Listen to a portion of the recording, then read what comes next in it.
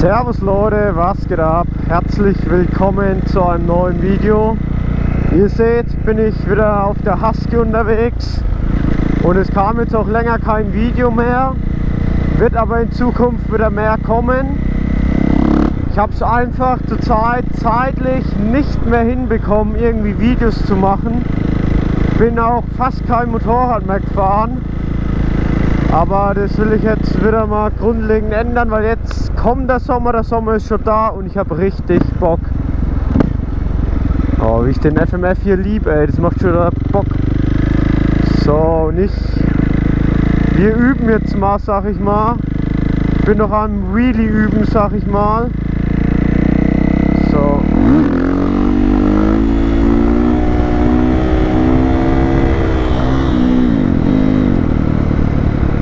war jetzt vierter Gang und ich finde auch, bei mir fällt es wesentlich einfacher, in dem vierten Gang einen Wheelie zu machen, beziehungsweise den zu halten. Klar ist es logisch, dass wenn du im niedrigen Gang nicht so hoch bist, also praktisch noch am Anfang bist und nicht so richtig hoch kommst, dass es dann wesentlich schwerer ist, also dann kannst du ihn auch nur kurz halten und nicht so lang jetzt wie jetzt. Also das war jetzt auch nicht so, so lang, es war einfach ein Stückle. Ähm, oh, ich diesen FMF liebe, ey. Dieser Sound einfach. Ähm, noch nicht den so lang zu halten. Ach, was laber ich schon wieder zusammen? Ich meine jetzt, dass wenn ihr noch nicht hoch oben am Kipppunkt seid, dass ihr dann ja praktisch noch schneller werdet und ihr auch den Wheelie nicht lang halten könnt. Dann, wenn ihr schneller fahrt, von der Strecke her, haltet ihr auch logischerweise den Wheelie dann länger für die Zeit, weil ihr schneller seid. Ja, eine längere Strecke haltet ihr den dann, nicht eine längere Zeit. Ähm, ja, aber was mir geholfen hat, ist wirklich in den kleinen Gängen Wheelies zu machen. Am Anfang war ich, oh, ich will länger Wheelies halten und so. Äh, bis ich irgendwann dann gemerkt habe, im ersten Gang einfach immer wieder. Und dann, wenn ich im ersten Gang besser geworden bin, bin ich im dritten, vierten, fünften Gang gar kein Problem mehr. Da ging es wie von allein. Das würde ich euch empfehlen, wenn ihr auch Wheelies anfangt. Das bin jetzt kein Pro, Profi oder so, sondern ich mache das halt, ich bin auch noch Übungen äh, in der Übung und ja, sind noch bei weitem noch nicht perfekt bei mir.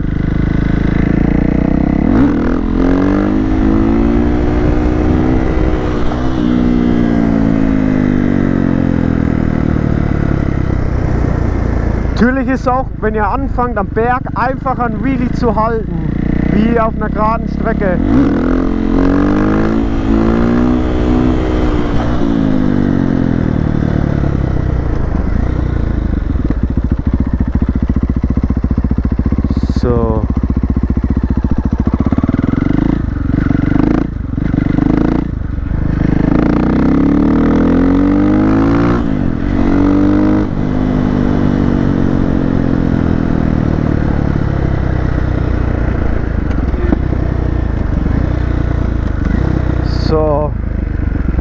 Also ich versuche jetzt mal, jetzt habe ich den ersten, zweiter. Ich habe die Standardübersetzung von, äh, fuck, was ist die Standard? 11 zu 50. Ich weiß nicht mehr ganz, was vorne ist, aber auf jeden Fall habe ich die Standardübersetzung drauf. Und mit, am Anfang habe ich mir echt immer, bin ich nach meiner kmh-Zahl gegangen, wann ich jetzt die Kupplung kommen lassen muss, wie viel Gas ich gebe und so.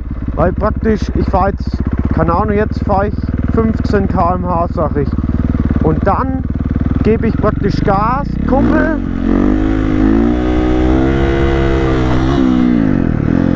Gebe praktisch äh, schon Gas, dann kuppel ich, gebe weiter Gas und dann lasse ich die Kuppelung wieder kommen. Mache es praktisch nicht so, dass ich jetzt eine Geschwindigkeit fahre, dann die Kupplung ziehe und dann mehr Gas gebe gebe praktisch schon davor, beschleunige ich und dann ab meiner gewissen Geschwindigkeit lasse ich dann die Kupplung, ziehe ich die Kupplung und lasse flitschen. Ähm,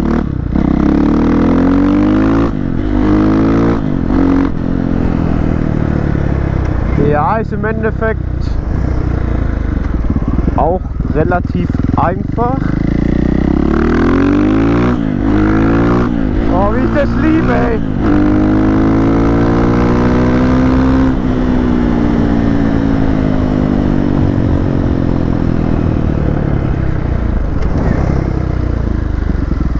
Und was soll ich jetzt noch sagen? Ja, ist im Endeffekt einfach.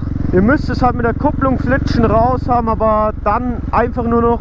Ich war am Anfang auch so. Ich habe Wheelies gemacht, war keine Ahnung 30, 40 cm, äh, 40 wäre wahrscheinlich schon viel, 20 cm über dem Boden mit dem Vorderrad und dachte mir, warum bei jedem Mal, wenn ich gefahren bin, warum wird es nicht besser, warum wird es nicht besser und habe da echt auch eigentlich ja ein bisschen Zeit gebraucht. Oh, ich fahre jetzt nicht den Schotterweg, ey, sonst, sonst wird mein Bike noch dreckiger, wie es eh schon ist. Ähm, was soll ich jetzt sagen? Ähm, genau, und habe mich dann informiert, Videos angeschaut, wie mache ich den perfekt, wieso klappt es bei mir nicht. Habe mir angeschaut angeschaut und jeder babbelt dann ein bisschen was anderes, wie er es macht und so. Klar, mit der Hinterradbremse ist sau wichtig, aber was ich irgendwann gemerkt habe, ich habe einfach nur noch, ich habe mir kein scheiß Video von irgendjemandem angeklotzt, sondern ich habe einfach das, was ich gemacht habe, mit der, klar, mit der Hinterradbremse und so, ist schon eine, ist auf jeden Fall wichtig. Ähm, aber ich habe mir keine Videos mehr angeschaut, so wie mache ich Wheelies und so ein Scheiß, weil da babbelt jeder so, wie er es macht. Aber im Endeffekt muss man selber für sich rausfinden, wie man es am besten macht, womit man sich wohlfühlt.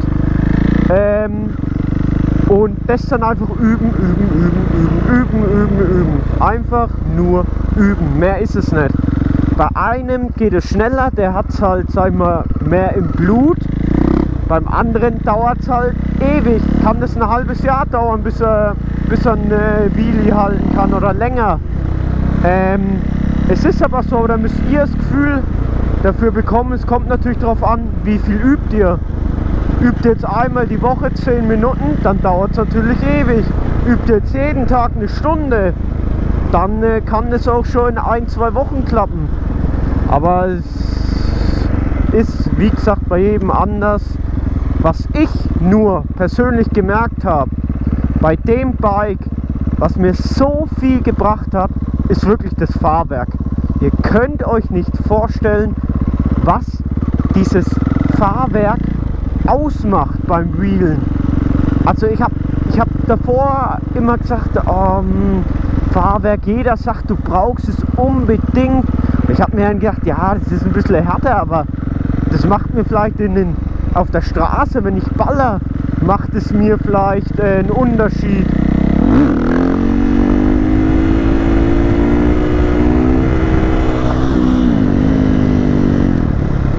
Äh, macht es einen Unterschied was es auch macht, ein Hardcore-Unterschied, weil ihr gerade beim Bremsen und Beschleunigen, beim Beschleunigen sinkt ihr immer so ein, vorne hebt ihr aus, hinten senkt sich die Feder rein. So, beim Bremsen ist es ja genau andersrum.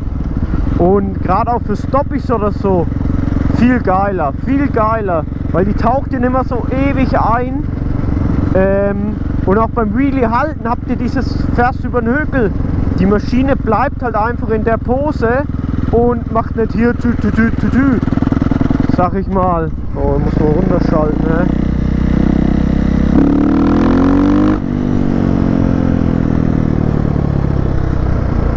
Und das ist halt echt, echt geil. Ich hätte nie gedacht, dass es so viel ausmacht. Ich bin bei den Wheelies bin ich vor allem auch Sicherheit hat es gegeben irgendwie. Ich weiß nicht, irgendwie, da, du bist stabiler auf dem Bike, alles, das ist alles viel schöner zum Fahren. Wenn man den direkten Vergleich hatte, ist es echt so krasser Unterschied. Das kann ich nur jedem empfehlen. Also Fahrwerk ist echt krass. Krasser Unterschied. Oh, das war nix. Ja, und mittlerweile mache ich das auch nicht, wie ich vorhin erzählt habe, nach kmh, sondern ich habe dann irgendwo auch das Gefühl, wann kann ich jetzt hier Ding, wie schnell fahre ich und wie viel Gas. Das hast du dann irgendwann auch im Gefühl. Am Anfang habe ich es immer echt nach den kmh gemacht. Hat mir auch echt geholfen. Aber jetzt nur noch nach Gefühl. So, ich überlege gerade, was, wohin könnte man...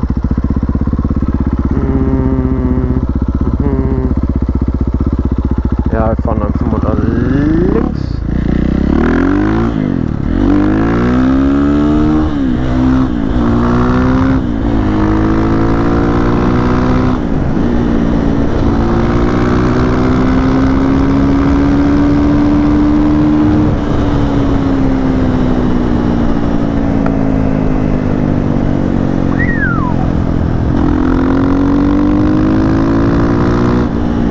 Alter, diese FMF, einfach nur Liebe.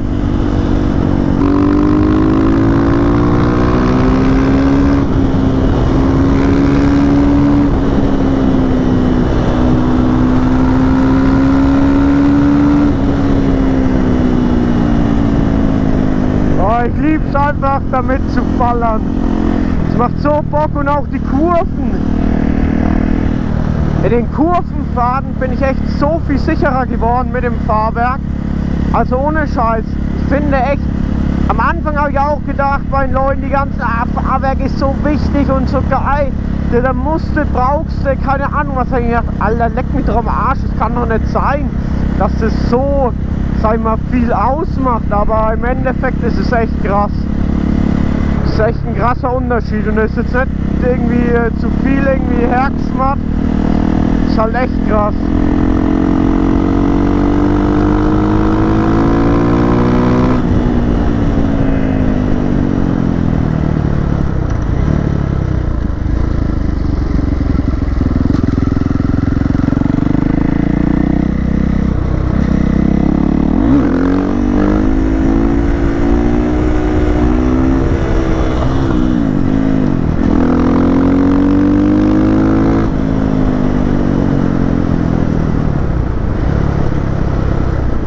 So.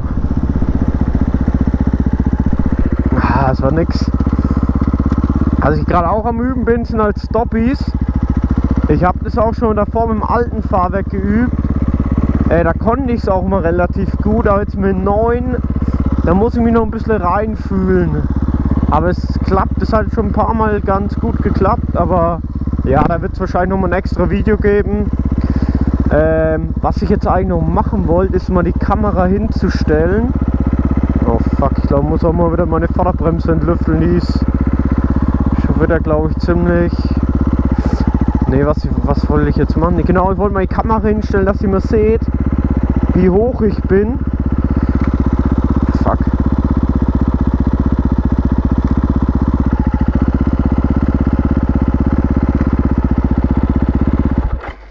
mache ich die Karre halt mal aus. Ah, mir geht immer so beschissen, wenn die Karre an ist, der Leerlauf rein. Das ist echt Wahnsinn. Ist aber halt schon ein Traum, die Karre, muss man jetzt ganz ehrlich sagen, ey. Mit dem Fahrwerk in Blau. Richtig geil. Bin einfach so stolz, Alter. So ein Bike hast, einfach nur krank. Und das fällt halt auf und das glänzt so geil in der Sonne. Ich hoffe, das kommt auf der Kamera irgendwie rüber. Ähm, ja, zum Fahrwerk habe ich auch, glaube ich, mal schon ein eigenes Video gemacht. Können abchecken, ist im Abspannen wahrscheinlich verlinkt. Und jetzt das Fahrwerk eigentlich. Scheiße, hier hinten. Hier richtig schön geil. Ein Rainbow. Richtig geil. Ist halt schon richtig dreckig hier. Ja, ich glaube, ich habe das Bike erst zweimal gewaschen, wenn ich ehrlich bin. Irgendwie habe ich auf Waschen nicht so Bock. Ah, es schaut einfach nur geil aus, wie es da steht. Ja, egal. Also, ich stelle euch mal irgendwo hin und dann äh, würde ich sagen, lasst schon mal ein Like da. Abonniert den Kanal, wenn ihr noch nicht abonniert habt, noch kein Abo habt. Und dann würde ich sagen, bis schon mal bis zum nächsten Video. Tschüssi.